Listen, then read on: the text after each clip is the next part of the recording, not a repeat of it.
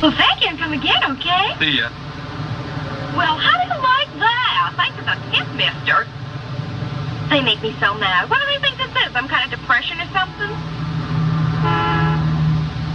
You know, I have a lot of decent tip all day. I mean, a girl would starve to death in this business. Say, Harvey, you don't think it's my breath? yeah, it's probably my breath. Got any mouthwash? Yeah.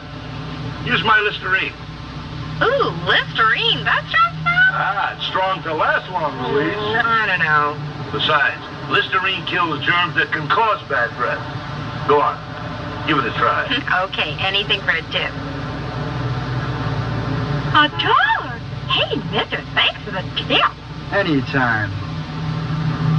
Anytime at all with Listerine Antiseptic.